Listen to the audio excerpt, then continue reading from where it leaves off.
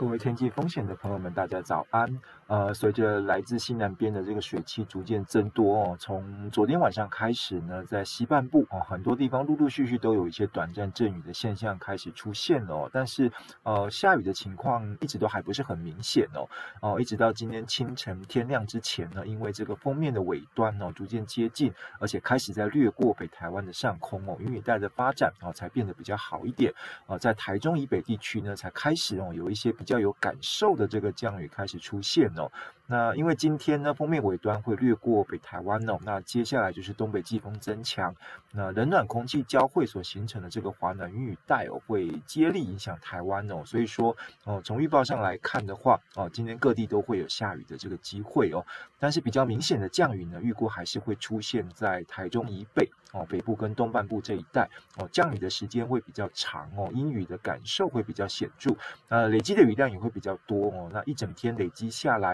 然后局部单点呢，会有机会达到这个大雨的这个等级。那过了台中以南呢，则是这个以短暂阵雨为主哦，降雨是这种一阵一阵的。那中间呢，会有这个雨停的空档。那下雨的地方呢，也会比较局部一点哦。整体的累积雨量是比较少的哦，不过都会有下雨的机会哦。所以说哦，提醒大家今天外出呢，要记得携带雨具哦。啊，尤其是目前还没有开始下雨的这个中南部地区。那预估呢，从今天白天开始，啊，陆陆续续都会有下雨的这个机会，啊，带着雨具外出哦，才不会因为啊遇上下雨的情况呢而措手不及哦。那由最新的这个预报资料来看，呃，华南雨带影响台湾的时间大概会持续到礼拜六哦上半天左右，所以说在明后两天呢，各地都会是一个有阵雨或者是短暂阵雨的这个天气哦。啊，不过呢，还是以这个台中彰化以北。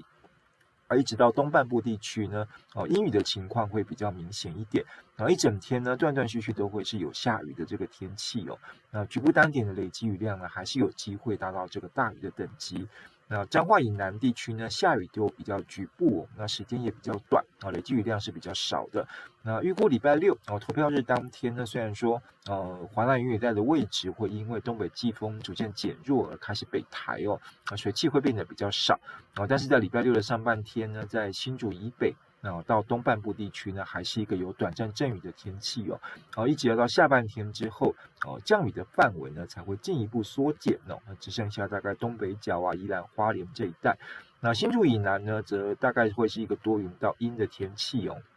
越往南呢，看到阳光露脸的机会啊，就会越高。那礼拜天的话，整个环境的风向会转成偏东到东南风哦。啊，除了在东半部地区还是有一些短暂阵雨之外，那西半部地区大概都会是一个放晴的这个天气哦。然后，适合安排这个假期活动的进行。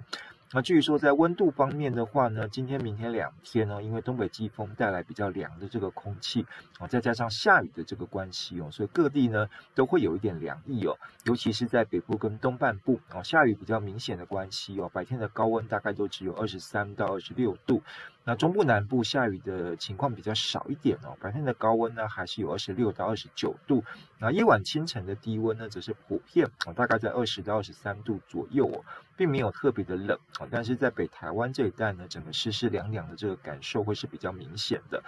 到了礼拜五之后呢，东北季风会开始逐渐的减弱。那到了周末的时候呢，温度回升的情况啊就会比较明显的出来了哦。尤其是礼拜天啊，各地应该都会是明显的感觉到变热了哦。北部跟东半部的高温呢，有机会回升到二十八到三十度哦。那中南部呢，更是有可能会到三十度以上哦。整个温度的起伏变化还是蛮大的。所以提醒大家要留意这个身体健康的这个情况。好，以上气象呢是由天气风险吴胜宇提供，谢谢大家。